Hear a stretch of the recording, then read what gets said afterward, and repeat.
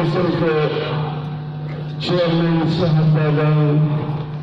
مشهد قرون سید نگاه شاهی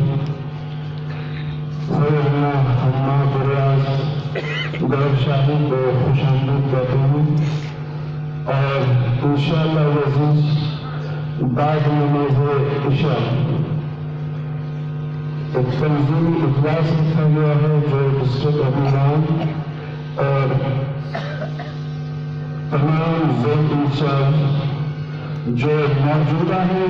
और जो सबका है, उनके लिए खसूस तौर पर ये इजलास आज मुनद है। हमारे समय के जेर सदारत मुनद होगा। तो तमाम जोन इंचार्ज और डिस्ट्रिक्ट अभियान से इल्तमास करूँगा कि इस इजलास में शिरकत में सबक नमाज़ अदा की जा रही है